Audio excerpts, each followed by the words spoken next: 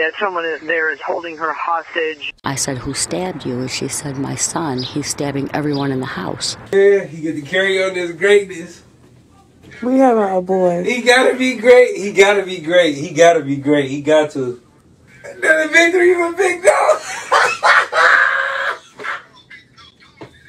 Big Dog doing it. another victory for Dog. yeah. Case makes me sick. On July 8th, this man was able to post bond after torturing his girlfriend. By July 10th, he had murdered his girlfriend that he had a son with and two other individuals. Why was he allowed to post bond? And why do they keep letting criminals with crimes as serious as his and repeat offenders out on bond? Hello, my name is Holly. Welcome to the Murder She Shed. This is the place we discuss the dead right from my she shed. No subscribe, do subscribe.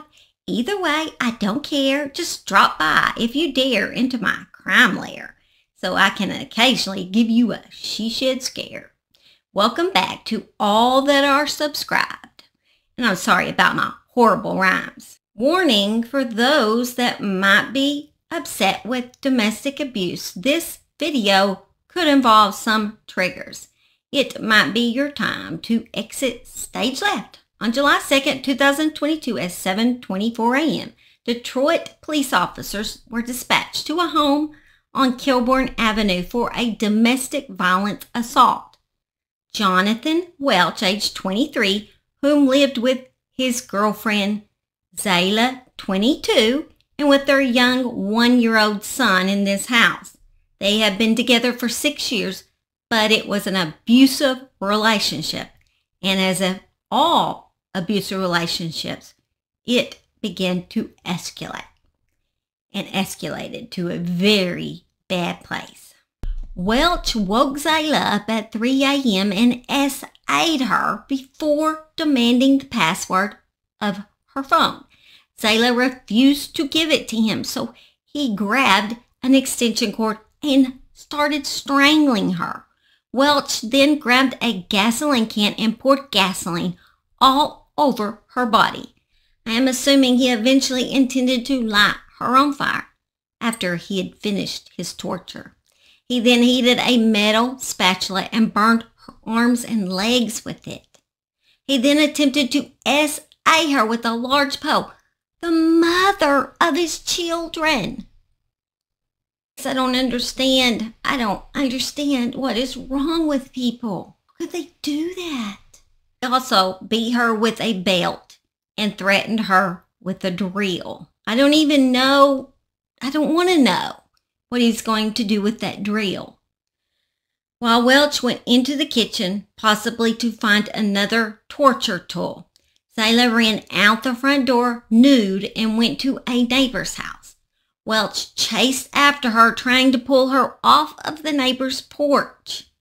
Once he was gone, the neighbors took her into the house, gave her a blanket, and then called 911.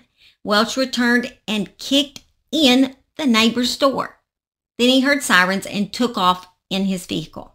Zayla had blisters, bruises, and open cut up wounds all over her body. Officers were able to arrest him by 1124 that day, and he was charged with torture, first degree home invasion, harmful device used, possession, causing injury, third degree criminal sexual conduct, assault with intent to commit sexual penetration, assault with intent to do great bodily harm, and three counts of felonious assault.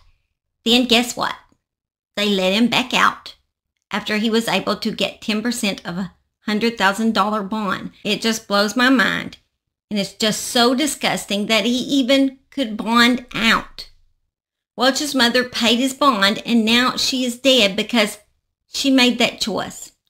And he paid her back by killing her. Only two days later, two days later, he went on a killing rampage.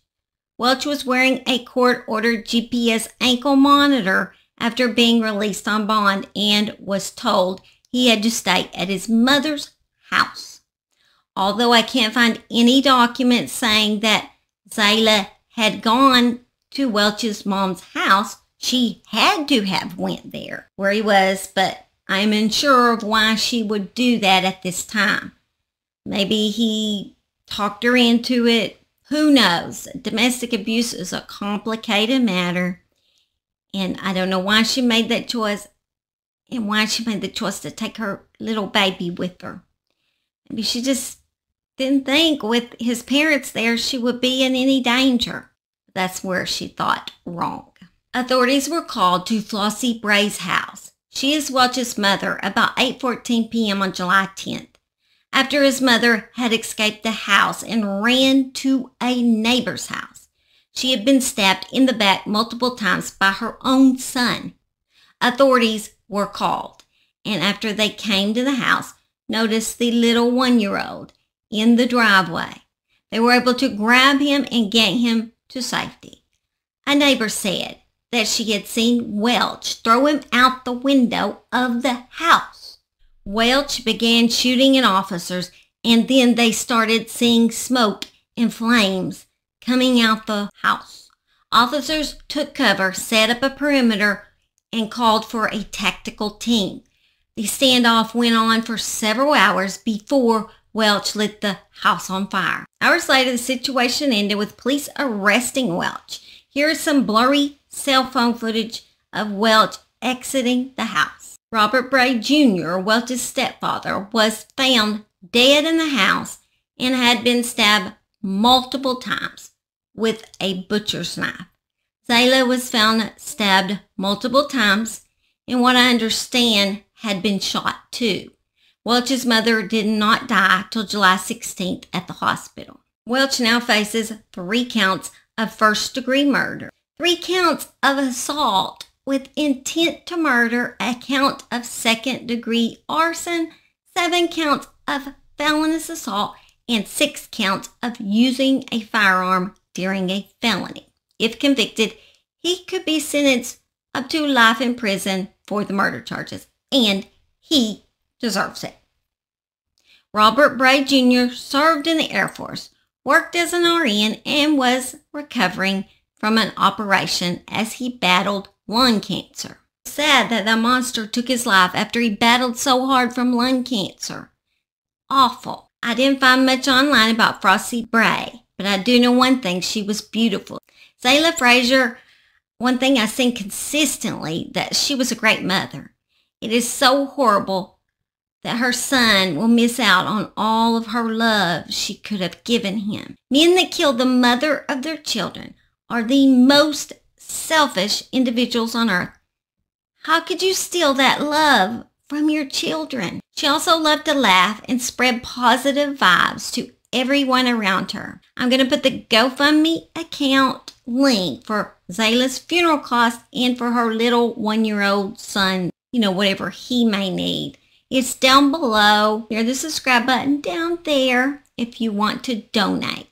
Okay? Just wanted to get this case out to you. It was a very important one that hopefully society can learn from. Prayers for all the family and friends that lost their loved ones.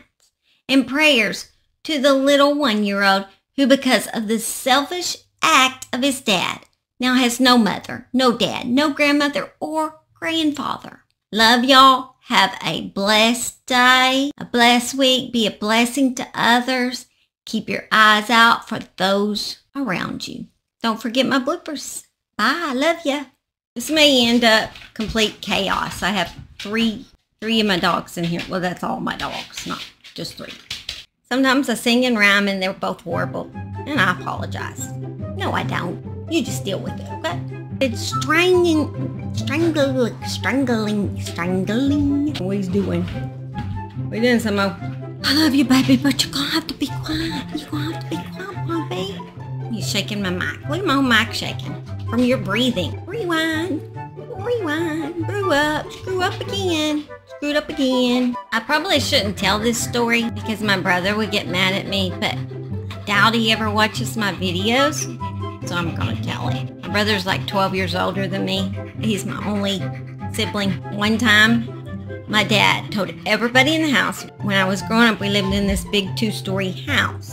Instead of the concrete foundation, it had a wooden foundation. And underneath was the plumbing pipes.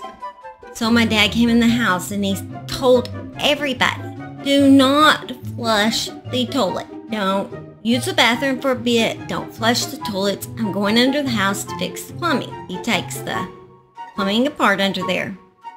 What did my brother do? He went upstairs.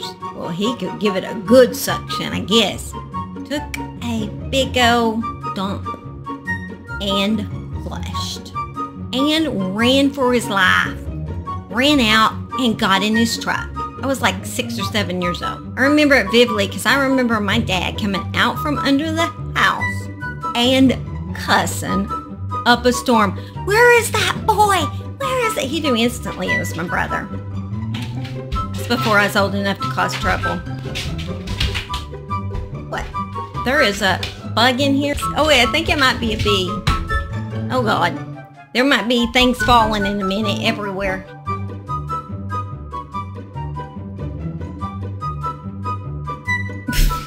we fixing to have it out with each other, Mr. B. I had enough of you. You make a huge noise up in here. I normally like bees. My brother has honeybees, but this one's just annoying my gut. Normally I'm all about being friends with the bee. One of those, like those annoying people that you find that you're like, man, I wish I could squash them because they're so annoying. That's how that bee was. Simon says, bye, I love my people out there.